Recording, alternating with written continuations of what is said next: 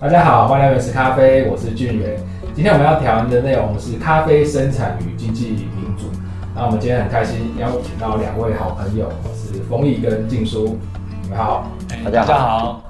好，那我们今天要来聊一下从咖啡生产开始哦。其实我们大家很喜欢喝咖啡，那我们喝的咖啡呢，常常是来自于全世界各地。我们现在在推荐给大家的咖啡，也是会来自于很多的地方。那咖啡这个作物非常有趣，就是它种在不同的地方。就会有不一样的风味哈。那我们今天先请丰毅来跟我们介绍一下这个咖啡整个发展的历史。哎，咖啡大家都知道哈，其实它最原始的这个发展哈，哎，其实好像跟人类的起源有关哈。人类的起源就是在非洲，而且是东非嘛哈。那其实咖啡哦，最早的发展哈，就是在东非的伊索比亚哦。那我们大家知道，这个伊索比亚大概是全世界咖啡最重要的这个。说它的种源的资料库吧，还有很多很珍贵的咖啡，其实的品种可能还没都还没有发现出来，都在咖都在这个伊索皮亚。但是呢，呃，伊索皮亚怎么样？这个咖啡怎么扩展到全世界啊？我很简单的跟大家说一下哈。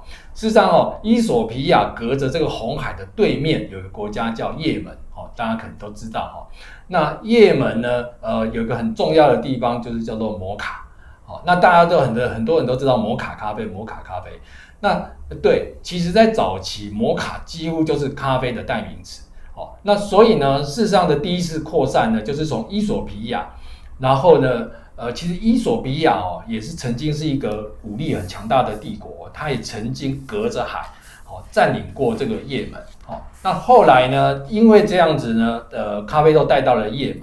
好，那。当时这个咖啡都透过这一个呃摩卡这个港呃出口出去哦，所以呢呃摩卡就变成是咖啡的代名词。不过那个时候的咖啡还是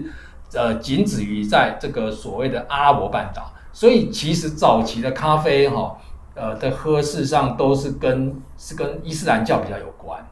哦哎是伊斯兰教，其实基督教的国家啊是不喝咖啡的。好，那这是那个时候都。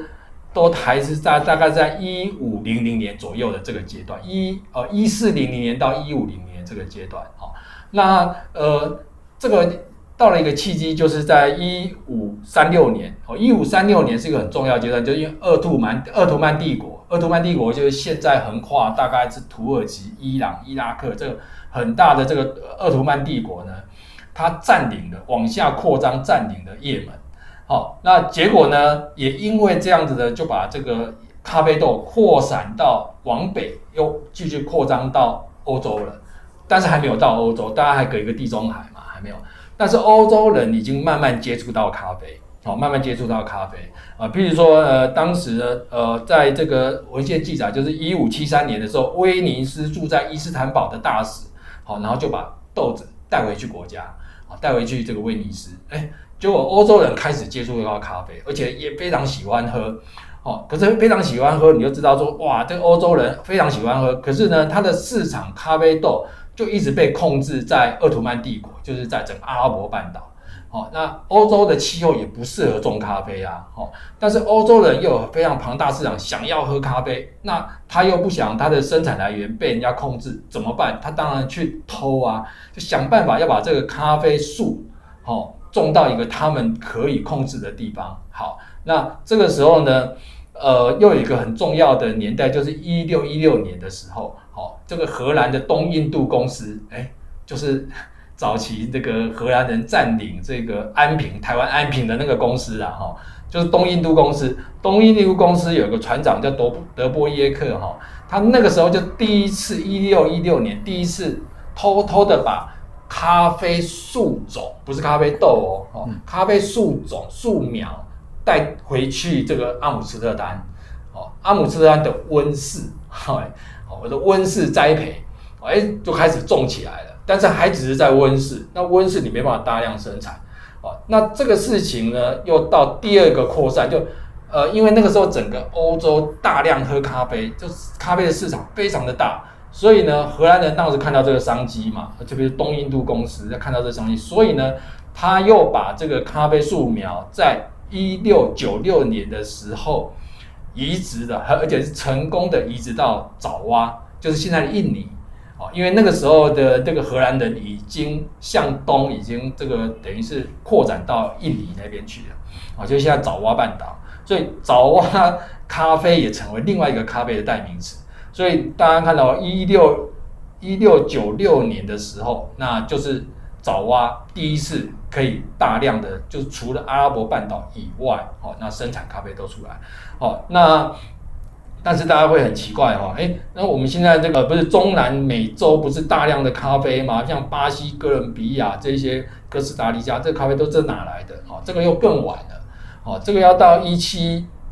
一四年的时候，一七一四年的时候，真的很好玩哦。那个当时的这个阿姆斯特丹的市长，就是把这个树苗给法国国王，哦，那法国国王拿到这个树苗以后呢，才。开始往这个法属的一些呃中南半岛的一些小岛开始试种，哦，那试种完了以后，哦，才扩散，慢慢扩散到整个中南美洲，哦，当然法国也是看到了咖啡的庞大的商机，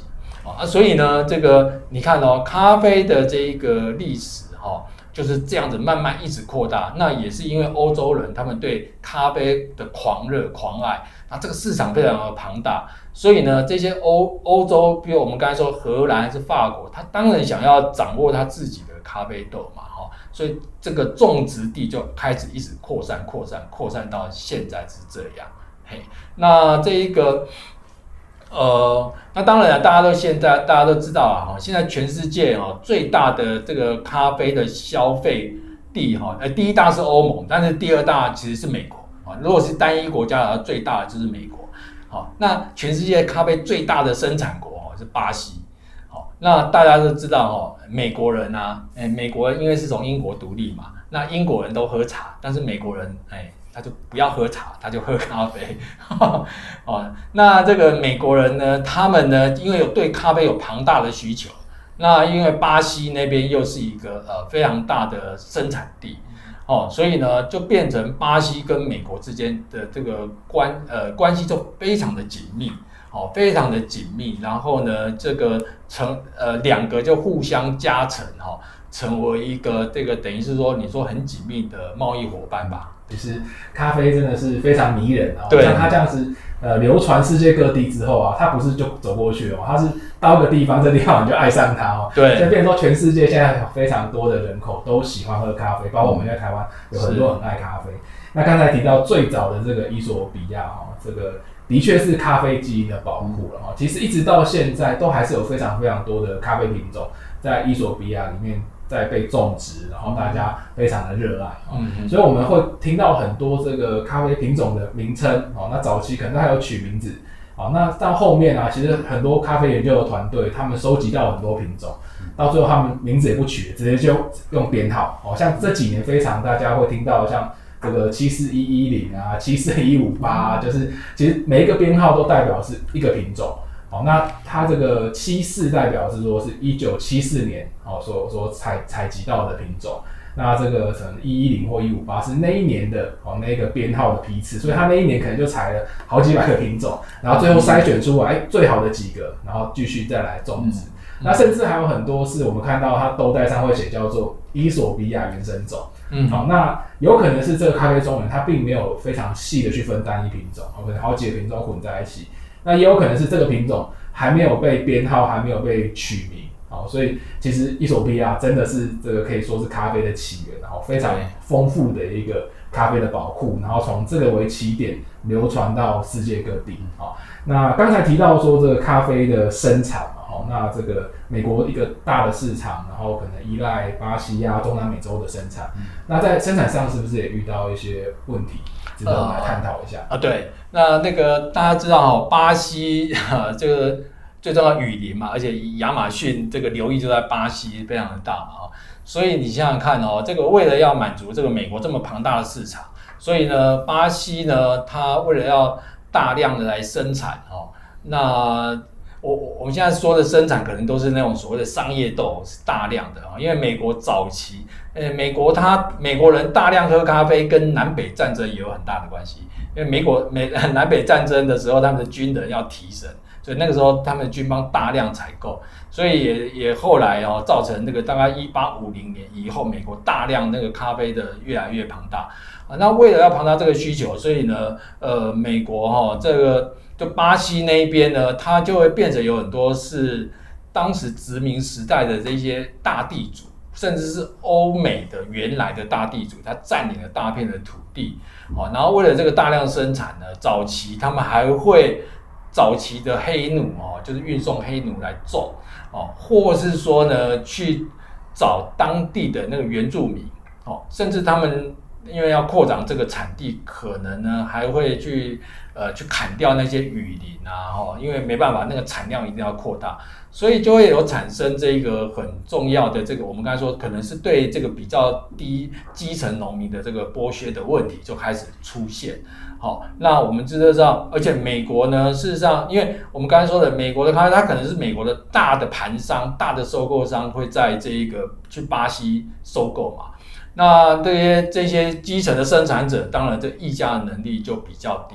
所以这一种呃。这样子的一种经济的这种模式，当然，哦，可能，而且美国事实上，因为美国人对于他们美国当地咖啡豆的价格是非常敏感的，他们都不敢涨价，哦，所以在这样的状况之下呢，就会挤压到这个他们当地巴西这个生产者，哦，或者这个咖啡农的这个利益，所以这个是一种比较，呃，在这样子的一个生产模式之下，哈。大，而且它当时那个我们都不是都不是我们说的那种精品庄园咖啡哦，都是非常大规模的商业豆这样子的生产哦，所以呢就会出现这样子的一个模式出来。好，那呃，但是这种模式呢，到了现在呢，开始慢慢这个有一些改变，有一些反省，哦，有一些新的一些生产组织，为了要克服这种问题，为了要。诶，改变这种现象哦，开始有一些呃不同的改变，对。对，那我们就是在购买咖啡豆的时候，其实常常会看到它是来自于什么产地的，可能某一个庄园哦。但是现在我们看到很多这个，它上标的不是写庄园，它是写合作社。好像之前我们也推荐过一支叫果丁丁哦，它也是伊索比亚当地的一个合作社。那想请问一下静书，就说像合作社这样子的营运模式，跟一般的企业或者说是庄园或有个老板的这样营运模式有什么不一样的地方？哦，最大的差异其实在于这个组织的所有权的结构。哦，那在一般的企业，通常就是有固定的股东。那股东变成是一个出资者，那其他的我们在讲的，呃，就有受雇，好找一些啊劳动者变成是受雇，好，或者是说我向外跟农民用收购的方式，就变成是啊农民是我的某一个生产合作伙伴，好，那这种通常会比较容易出现，就是说，那我企业某种程度为了要有利润嘛，那我的利润要从哪里来？要么我们可能就是从呃原物料去压低上游的价格。或者是我们常常就讲说，那我就劳动成本想办法降低，所以通常就会出现在企业的结构里面，为了这样的一个利润，因为它的啊利润最终是归于少数的股东所持有，所以为了股东的利润哦，所以常常就会有挤压上游或者是劳动的这种状况。那刚刚丰毅在讲哈，或者是呃俊元在提的这种合作社，它比较不一样的状况之一是，它的所有权是一个分散的状况。哦，比如说像刚刚在讲的，有一些庄园，或者是它的一些品牌，它标榜的是合作社。那就我知道，咖啡的合作社其实有几个不同的类型。第一个是它有可能是这一个地区的一些农民哦，咖啡农，大家共同组织起来，好，那组织的一个叫做啊，比如说就是生产共同生产合作社。那因为我们所有农民都是在这一个合作社里面是共同所有权人，所以这里所产生的利润就是大家共同享有。好，那其实呃，在过去，其实大家在呃喝咖啡的，通常都会有时候能想，就比如说公平贸易。好，公平贸易其实这几年就我知道，大概呃早期他们其实也是在鼓励，就是说，那你地方的这些生产者是不是可以集结起来？因为其实刚刚丰毅谈到一个重点，因为过去的生产者通通常都是个别只负责生产，所以他的。呃议价能力在市场议价能力相对是比较弱，因为你是零散在各个地方。哦，所以透过合作社，我们大家先组织成为一个呃合作社之后，那我们所有的产品都进到这个合作社，由这个合作社再共同去跟我们在讲的经销啦或者进口商议价。哦，所以这使得每一个农民他不至于会形成了我们在讲的销价竞争的问题。啊，因为过去可能个别竞争嘛，那如果今天我卖掉了，然后别人卖不掉了，哎，那我利润就会高，所以农民跟农民之间也会有竞争。所以透过这个合作的方案，哦，因为大家成为一个共同利益体，所以大家比较能够形成一个 bargaining power 的一个能量，哦，所以这是在生产的结构。那另外还有一些合作社，它其实呃负责我跟农民做友善的呃去做，啊，那我用比较好的价格，那让这些农民可以努呃稳定的，然后去维持他的生活所需要的生产。那我这边收购来了之后，我进行后端、终端的，比如说加工哦，因为我想静源最清楚嘛，整个咖啡到我们能够喝的过程，除了种植以外，还有很长很大的一块的一个生产，所以这里面这些环节就会有另外一种组织合作社的方式，我们来处理这一块。那既然叫合作社，也一样是这里面的劳动哦，因为它通常都是加工，所以是劳动，所以是由这些劳动提供者来共同持有、控制这家组织。所以它的利润也会在这一些共同劳动的这些人身上做分配。好，那这个就是在呃生产端。那最后还有一种类型，其实就是比如说在台湾也我们也常常会有咖啡馆啊、咖啡厅啊。那在国外其实会有，比如说几个人哈，年轻人大家共同经营一个咖啡厅，那它它就叫合作社。好，那这种共同经营的方式是，那大家共同经营这家咖啡厅，然后。大家共同来商讨、共同经营、共同管理，哦，然后一样，这里面所创造的利润，也就是大家共有。所以其实合作这个概念，其实不一定只有在生产，它其实在就国际的发展趋势，尤其咖啡这个产业，它其实是在各个呃环节里面都可以使用合作社的各方式去变化、去改变。说过去因为只有单一企业的啊股东的利润着想，哦，它其实可以形成我们在讲。共同利润的一个 share，好，我们在讲的 sharing economy 共共享经济这样的一个模式，所以我们听起来，其实合作社是会让这些农民啊，哈，在更能够获得他该有的一些利润啊。那其实，在整个咖啡生产的过程当中，哦，这个咖啡树种出来的、采收下来的，我们叫咖啡新鲜的果实，嗯嗯啊。那其实这个新鲜果实，这个如果农民把它卖出去了，那个价格，其实在整个咖啡的售价里面。它相对是非常的低的，嗯，对，所以很多农民他也会希望说，那他自己来做后置，我们常听到的水洗、蜜处理、日晒等等的后置法。好，那当然你自己做的这一块，你把它制作完之后变成是咖啡生豆，对，啊，那咖啡生豆的价格当然就比新鲜果实又好很多，对。可是当你要做这些后置的时候，你也有相对的成本，包括你要有场地，你要处理厂，因为你对你要设备，你要脱皮，你要有控制这些品质的很多的设备下去哈。所以我们早期常在讲说，像伊索比亚哦，常常你会看到是这个日晒豆。哦，因为日晒是最简单，它就是把果实放在太阳下晒，它它不用电也不用其他设备，但是这样子做出来，当然它的品质有时候落差很大，所以后来有所谓的精致日晒，然后可能要棚架式的把它架高，甚至像台湾有很多它因为靠太阳还是太不稳定，所以要用机器去干燥。哦，那机器干燥你就要有电，你要有这些机械设备等等，其实它就会是一个需要投资下去的。一个项目了哈，那有时候单一农民可能来做的时候会觉得压力比较大，所以这时候我集合很多农民的力量，一起让他可以进到下一步，那他就有机会呃分摊这个成本，但是又可以把后置处理这一块的这个利润也也赚回来。那当然再往更后端走，像刚刚有提到，哎，给大家一起开个咖啡店，哦，那其实我们农民很多，他生豆他自己会把它烘，哦，烘好之后可以卖熟豆。那当然，你最后一一个关就是说，我们把它制作成一杯咖啡卖给消费者的话，当然你就完整的把这个产业里面可以有的利润，然后重新又回到农民身上。好，那其实我们会希望说，当然农民必须要能够得到他应该要有的利润，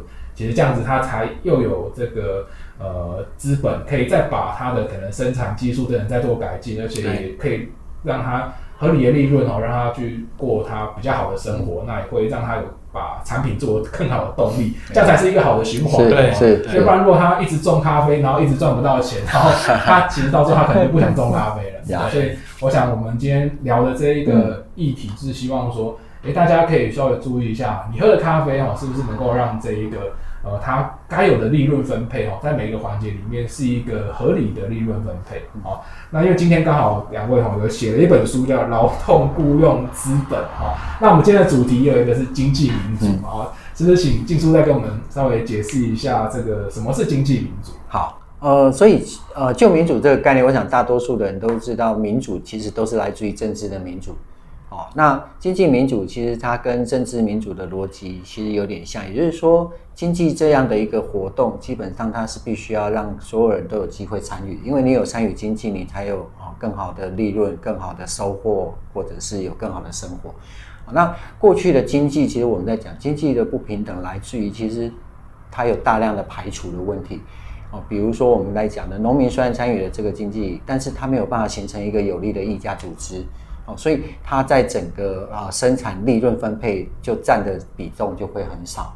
所以经济民主这个逻辑其实是希望让这些原本零散的分散在各地的这一些经济的一个参与者能够集结起来。哦，用一个更大的、更好的、更平等的一个组织的结构去参与到整个经济活动。哦，就不会是一个，比如说一个农民要对抗一个贸易公司。哦，这样其实相对的，它能够谈的价格啊，相对就会被压缩。透过这样的一个集体的方式，哦，让啊人可以重新进到经济里面。那民主的逻辑就是这个组织其实它必须是一个民主的运作结构，这是一个很重要的。如果今天进到这个组织里面，我们还是一个受雇上对下的、指挥从属性高的老板，随时叫你走人就走人的，那它还是一个我们在讲的相对不平等、不民主的结构。所以经济民主的逻辑就是怎么样去创造这种组织，是让这里面的我们在讲的利益关系人，哦，都能够平等的得到合理的利益，而且它可以共同的去经营、管理、决定我们的组织未来该怎么发展。哦，这个其实就是我们在谈的经济民主的很重要核心的概念。是，那我们今天非常感谢丰毅跟静书哈来到我们原始咖啡，那他们也特别准备了一本书要送给我们观众，那大家可以依照我们的抽奖办法在下面留言，我们会抽出一个得奖者，好把这本书送给大家，请大家订阅我们的频道，我们下次见，好，拜。拜拜。拜拜。